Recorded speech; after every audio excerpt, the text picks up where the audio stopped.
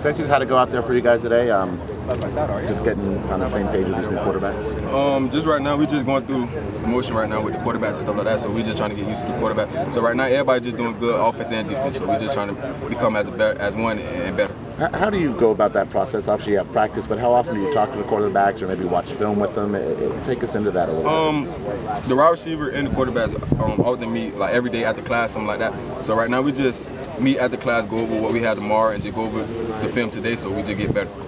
Yani. What do you like about what you've seen out of the offense so far?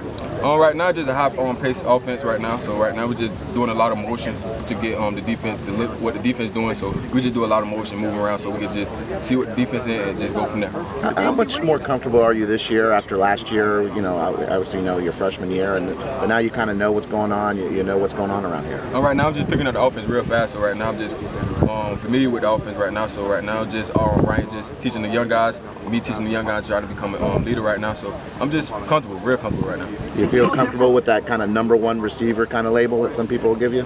Um, if it is, I mean, I, I, have no choice but to take it. But right now, I'm just hopefully just learning from my wide receivers still, the veterans, um, Rashad, Rashawn, um, Damari, Phil. So right now, we just all becoming as one, just trying to learn together. The ball's coming different from Kevin versus Ryan? Um, no, all I'm saying, because my freshman year, um, I was going with Stephen, Kevin, and um, Ryan. So right now, everything just the same. How is Kevin doing? Kevin doing awesome. I mean, Kevin picking up the offense as well as as well as I am. So right now, Kevin is becoming the leader uh, behind Ryan. So Ryan, I feel like Ryan, I'm um, teaching him a lot. And what does Ryan do well? Um, just Ryan just keep all the young guys just calm, and then when stuff go wrong, he just try to pick everyone up. So right now, he just being a local guy. Thank you.